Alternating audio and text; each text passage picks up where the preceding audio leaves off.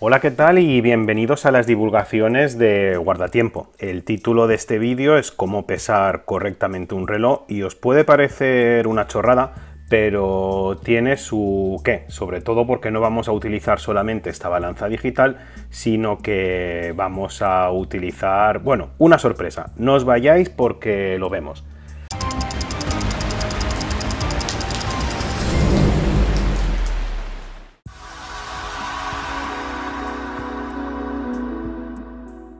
Bien, el caso es que aprovechando que tengo por aquí este eh, Neminus Lab Yellow Monster, ya lo pesé en la reseña completa, pues vamos a ver cómo se pesa con una balanza digital, ¿vale? Simplemente la encendemos, cuando esté encendida se pone a cero y colocamos el reloj en el soporte y nos dice que pesa 134,97 gramos.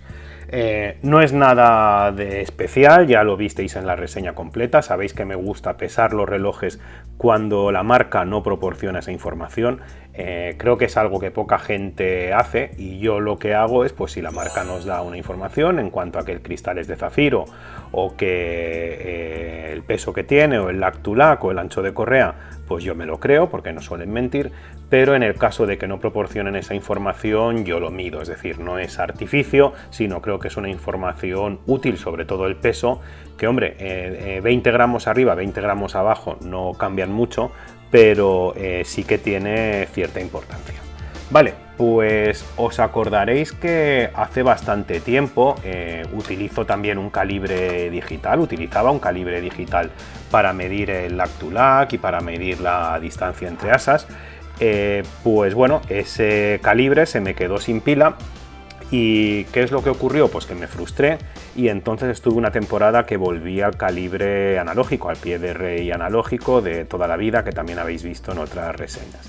En el caso de la balanza, como lleva dos pilas AAA, que además son recargables en mi caso, pues ¿qué ocurre? Que duran bastante, duran al menos seis meses y eso que la uso bastante, no solo para las reseñas de relojes. Son fáciles de cambiar porque retirar la tapa y como son recargables, pues bueno, es algo que me gusta y cuando veo que, está, que ha pasado un tiempo la recargo y tengo balanza de nuevo.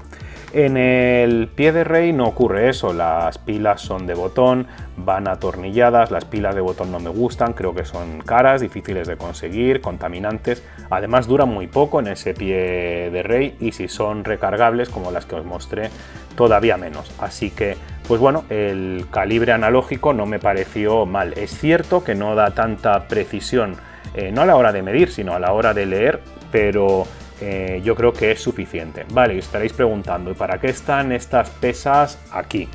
Pues están estas pesas ahí justamente por esto que os estoy enseñando. Esta es una balanza marca Changping, tal como suena, no os riáis, modelo 1105, esta es la caja en la que me ha venido desde AliExpress, completamente destrozada, y era un conjunto, un set, un bundle, en el que venían estas pesas de precisión con su cajita, de hasta 500 kilos y venía esto que voy a coger aquí con cuidado y os voy a encuadrar aquí para que veáis bien. ¿Qué es esto? Pues esto es una balanza. Eh, bueno, pensaréis que las balanzas son un invento romano, por, de ahí el nombre de la balanza romana. Sin embargo, no es así. Las balanzas son un invento mucho más antiguo, son un invento egipcio. ¿Y cómo funciona? Pues básicamente de lo que se trata es de que la, calibres cuando la has puesto. ¿Y de qué depende la calibración? Pues bueno, depende de la gravedad, depende de la inclinación de donde la tengas, etcétera, etcétera. Pero veis que la manecilla de aquí estaba centrada antes de que le diese un golpe, esto quiere decir que está completamente equilibrada y bueno, hay que calibrarla igual que se tiene que calibrar la balanza digital que conocéis, para eso ya expliqué en la web cómo se hacía eh, la calibración, es algo que todo el mundo piensa que las balanzas por ser digitales ya vienen calibradas, no es así, hay que calibrarla y bueno, eh, una vez calibrada la balanza digital o la balanza analógica, pues vamos a ver su uso. Su uso es sencillo, tiene dos platos y va por igualdad de pesos. Vamos a poner el reloj aquí, ¿vale? Fijaros, y está pues completamente en un extremo, ¿vale? ¿Qué tenemos aquí en el juego de, de medidas? Pues tenemos diferentes pesas. Esta de aquí, como estáis viendo, es de 200 gramos. Si yo la coloco aquí, veréis que baja del todo, lo cual quiere decir que el reloj pesa menos de 400 gramos. Vale, vamos a ponerla de 100 y quitamos la 200. Ahora las cosas cambian. Eh, el reloj pesa más de 100 gramos. Tenemos otra pesa, que en este caso también es de 100. Si la colocásemos, pues volverían a ser 200 gramos y volverían a pesar más las, las pesas. Así que el reloj ya sabemos que pesa entre 100 y 200 gramos. Pues bien, tenemos una pesa de 50, como estáis viendo. Pesa, el reloj pesa menos de 150 gramos. Vale, no hay problema. Tenemos una pesa aquí de 20. Así que la vamos a colocar, quitamos la de 50 y lo que tenemos es que el reloj pesa más de 120 gramos. No hay problema. Tenemos otra de 20, la colocamos y vemos que el reloj pesa menos de 140 gramos. Así que tenemos otra pesa aquí, esta es de 10 quitamos, a ver si lo hemos quitado bien, quitamos una de 20 y metemos la de 10, pues bueno, el reloj pesa más de 130 gramos y menos de 140. Eh, tenemos una precisión de 10 gramos, fijaros que la balanza nos había dado justo eso, entre, eh, entre 130 y 140 y bueno, es una forma de pesar diferente que me parece que puede ser divertido en una reseña, o al menos a mí ahora con la novedad me parece divertido hacerlo así, creo que las cosas se entienden mejor, tienen ese encanto mecánico y analógico que me imagino que a los aficionados de la relojería como a mí también nos gusta y bueno, eh, podemos ir jugueteando más con ella. Eh, la de 10, la guardamos, si colocamos otra de 20, ahora serían 140 lo que tenemos aquí, 140 pesa más.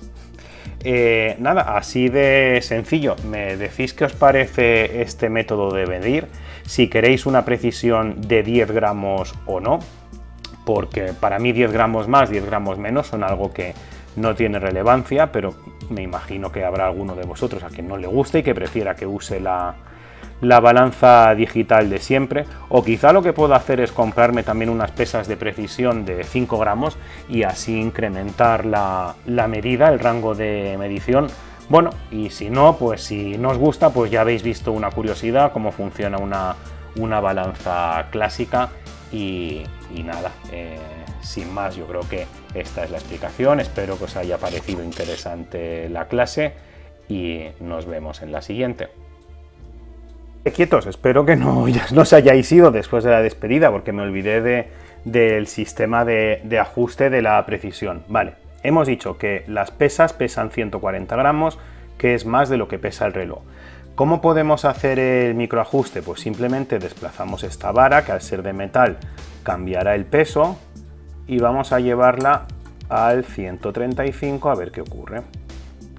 Fijaros, en el 135 empieza a equilibrarse y si le doy un poquito más, 135,2, está casi equilibrado del todo, 135,3, casi casi, 135,5, vamos a esperar a que se estabilice, y esto querrá decir que según esta balanza el reloj pesa 135,5 gramos, eh, que comparado con lo que nos daba la balanza digital eh, coincide, coincide con una diferencia de un gramo. Eh, hay estas divergencias y nada, ahora sí que ya lo habéis visto todo. Nada más, hasta la próxima. Este vídeo está patrocinado por mí, es decir, por la saga A Contrarreloj Paul Davis, un conjunto de seis novelas en las que si te gusta la relojería, la ficción y los detectives privados especializados en recuperar relojes, en esclarecer asuntos de fraudes, de robos, de aseguradoras. Eh, son tus libros, los tienes a la venta en Amazon, tanto en formato digital o ebook como en formato físico de papel. Y la verdad que te recomiendo que los pruebes. Como no voy a incitarte a que los compres, pásate por javiergutierrezchamorro.com, donde se han publicado varios relatos gratuitos, échales un vistazo y si te gustan, adelante. Queridos,